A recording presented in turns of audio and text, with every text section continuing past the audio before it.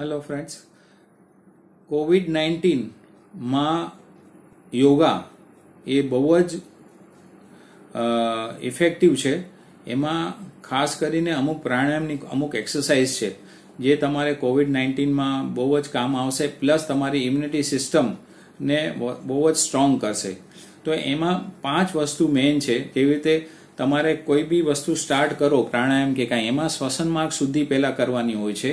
એના પછી તમારે કપાલભાતી કરવાની હોય છે, એના પછી ભસ્ત્રિકા પ્રાણાયામ કરવાનું હોય છે, અને એના પછી અનુલોમ વિલોમ પ્રાણાયામ કરવાનું હોય છે, અને એના પછી છેલ્લે બ્રાહ્મણી પ્રાણાયામ કરવાનું છે. આ એક્સરસાઇઝ તમે દિવસમાં બેથી ત્રણ વખત કરો તો વધારે સારું. સવારના ઉઠીને કરો અને રાતના સૂતા પહેલાં કરો અને વચમાં બપોરના સાંજના તમે ચાર પાંચ વાગે તમે કરો, તો દિવસમાં ત્રણ વખત તમે કરશો, તો તમને તમારે આ બીમારીમાં અને ઇમ્યુનિટી સ્ટ્રોંગ કરવામાં બહુ ઇફેક્ટિવ થશે. શોર્ટમાં હું તમને કહી દઉં છું કે એને કેવી રીતે કરવાનું છે.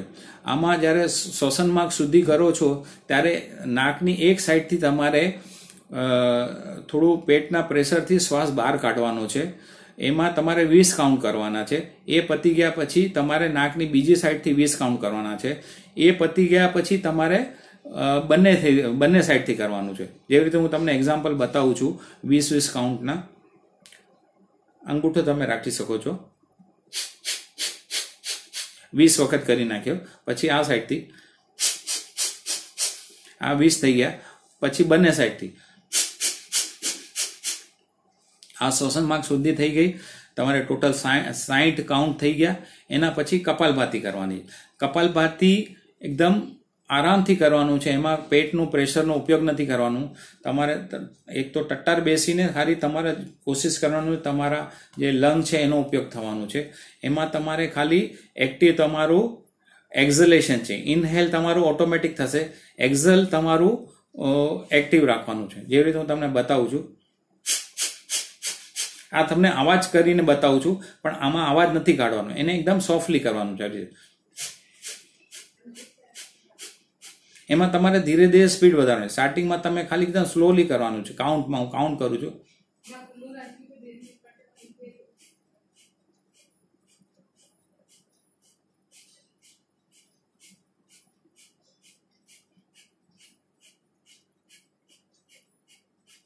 આમાં પેટ મારું હલતું નથી. ખાલી ઉદર પટલ હાલે છે ડાયફ્રોમ એને જ હલાવવાનું છે ખાલી. એ થઈ ગયા પછી તમારે ભસ્ત્રિકા પ્રાણાયામ કરવાનું. એમાં બંને એક્ટિવ છે. કપાલભાતીમાં ખાલી એક્ઝલ એક્ટિવ હતો. આમાં ઇનહેલ અને એક્ઝેલ બંને એક્ટિવ રાખવાનું છે. એમાં પણ ડાયફ્રામ ડાયફ્રામથી જ કરવાનું છે. પેટની વધારે મુવમેન્ટ નથી કરવાની. તમને એક્ઝામ્પલ બતાવું છું. પહેલાં સ્લોથી કરવાનું છે. એમાં વીસ વીસ કાઉન્ટના સેટ મારવાના છે. પહેલાં બે સેટ મારો, પછી તમારે ફાવે તો ત્રણ સેટ મારો. એમાં પહેલાં સ્લો સ્પીડથી કરવાનું છે, પછી ધીરે ધીરે સ્પીડ વધારવાની છે.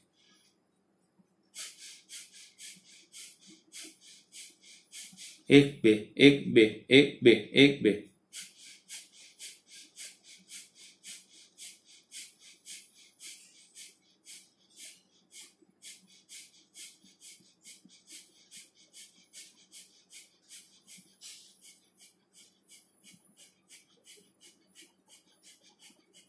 એવી રીતે. પછી અનુલોમ વિલોમ પ્રાણાયામમાં તમારે એક સાઈડ તમારે નાક સાઈડની એક સાઈડ બંધ રાખીને તમારે પહેલાં ચાર કાઉન્ટમાં પૂરું શ્વાસ અંદર લેવાનું છે એક સાઈડ જેવી રીતે એક્ઝામ્પલ તમે રાઈટ સાઈડ છે. પહેલાં રાઈટ સાઈડથી પહેલાં શ્વાસ છોડી દો, પછી ચાર કાઉન્ટમાં પૂરો શ્વાસ લો. પછી તમે નાક બંધ કરી દો આવી રીતે. તમે આ બે આંગળી અને અંગૂઠો. એ તમારે ચાર કાઉન્ટ સુધી નાક બંધ રાખવાનું છે. પછી તમારે લેફ્ટ સાઈડથી આઠ કાઉન્ટમાં તમારે સિસ્ટમેટિકલી છોડવાના છે શ્વાસ.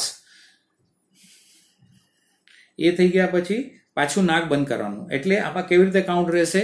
શ્વાસ લેવામાં ચાર કાઉન્ટ એને રોકી રાખવા માટે ચાર કાઉન્ટ છોડવાના આઠ કાઉન્ટ અને પાછું રોકવાનું, નાક બંધ કરવાનું ચાર કાઉન્ટ એટલે ચાર ચાર, આઠ, ચાર. ચાર ચાર, આઠ, ચાર. એવી રીતે. પહેલા આપણે રાઈટ સાઈડથી ચાર કાઉન્ટ લીધું, નાક બંધ કર્યું લેફ્ટ સાઈડથી આઠ છોડ્યું. પાછું નાક બંધ કર્યું. પછી પાછું લેફ્ટ સાઈડથી ચાર લીધું, નાક બંધ કર્યું ચાર રાઈટ સાઈડથી આઠ. છોડી દીધું, પાછું ડાક કર્યું એટલે તમારી સાયકલ ક્યારે પૂરી થાય? તમારે રાઈટથી લો છો, ચાર કાઉન્ટમાં અહીંયાથી તમે છોડો છો, આઠ કાઉન્ટમાં પાછું અહીંયાથી લો છો, ચાર કાઉન્ટમાં અહીંયાથી છોડો તો આઠ કાઉન્ટમાં નાક બંધ કરો છો, ચાર કાઉન્ટ, એ તમારી એક સાયકલ. એવી તમારે સાયકલ ત્રણથી પાંચ સાયકલ સ્ટાર્ટિંગમાં કરવાની છે. ધીરે ધીરે એ સાયકલ વધારીને સાત કરવાની છે. એ થઈ ગયા પછી તમારે બ્રાહ્મરી પ્રાણાયામ કરવાનું છે. એ તમારે ત્રણથી પાંચ મિનિટ કરવાનું છે. એમાં હમિંગ કરવાનું છે. ગળામાં હમિંગ. જ્યારે આપણે ઓમ બોલીએ ત્યારે મ, જે આપણે મોઢામાં એને ધ્વનિને ફરાવીએ છીએ એવી રીતે આપણે ફરાવવાનું છે. તમારે ઓ ન બોલવું ખાલી મથી બી કરી શકો. હું એક્ઝામ્પલ બતાવું છું. ઓમ